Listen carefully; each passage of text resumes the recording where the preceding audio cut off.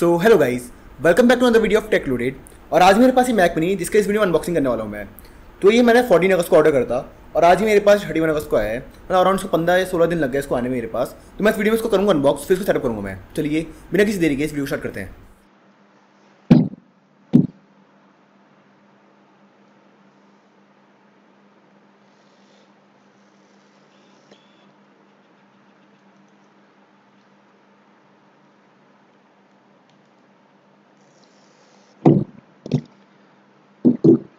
तो यार, सबसे पहले ऊपर हमें देखने को मिलता है मैक मिनी इसको भी अनरैप करते हैं। यहाँ पर नीचे की तरफ़ है एप्पल के जो पेपर वर्क आते हैं, ये है इसके अंदर। और यहाँ पर सी पावर कॉर्ड है।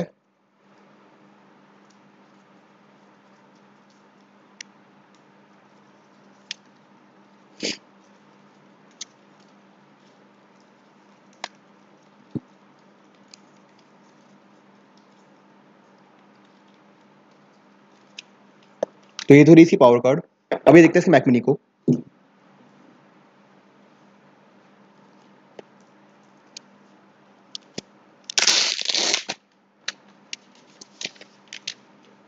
कि नीचे की तरफ़ जैसे आप देख सकते हैं, यहाँ पर मैक मिनी की ब्रांडिंग देखने को मिलती है। और ऊपर की तरफ़ एप्पल का लोगो है। यहाँ पर पीछे कुछ स्टिकर वगैरह लगे हुए हैं तो पील ऑफ़ करते हैं इसको। तो जैसे आप पीछे की तरफ़ पोर्ट देखेंगे, यहाँ पर तो पावर जो उसका पावर कॉर्ड का पोर्ट है, यहाँ पर इथरेट पोर्ट है यहाँ फ़ैन का जो आउटलेट है वो है यहाँ पर दो थंडरबोल्ट फोर पोर्ट है एच पोर्ट है, यहाँ पर माइक्रोफोन का पोर्ट है और यहाँ पर दो यूएसबी पोर्ट है। चलिए इसको मैं लगाता हूँ मॉनिटर से, आपको उसके ऊपर एक सेटअप का वीडियो दूँगा मैं। तो पहले तो मैं मैक में पावर कॉर्ड लाऊँगा मैं। फिर इसके बाद इसमें एच डी लगेगी इसमें मैंने मतलब मॉनिटर कनेक्ट करने के लिए। बाकी मेरी डोंगल की केबल है, इसमें मतलब कीबोर्ड और माउस जो है कनेक्ट कर रखा है तो उसमें डायरेक्ट प्लग इन करता हूँ मैं। अब इसको ऑन करता हूँ मैं सीधे।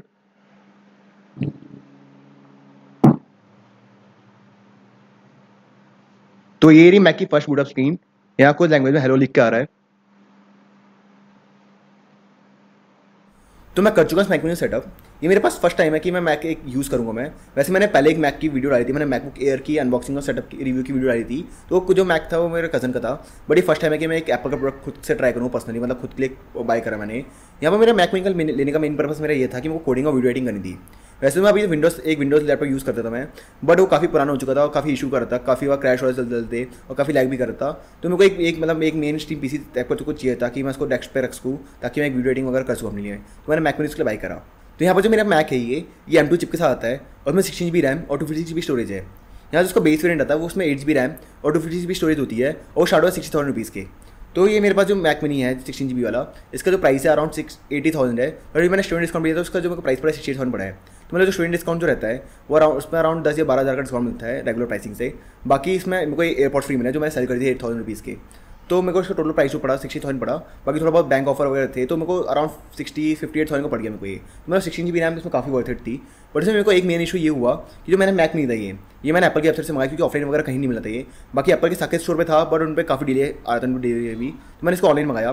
तो मैंने फोर्टीन तारीख को ऑर्डर करा था तो फिर जो उसकी डिलीवरी डेट थी, वो पहले तो फाइव सितंबर थी, फिर उसका शिफ्ट हो गई ट्वेंटी सितंबर फिर उसके उन्होंने फिर अर्ली शिपिंग कर दी थी इसकी। तो ये मेरे पास थर्टी वन अगस्त को आ चुका है। तो अभी इसको मैं यूज़ कर रहा हूँ मैं। मतलब इसको थोड़ा सा, थोड़ी देर यूज़ करा उसको मैंने।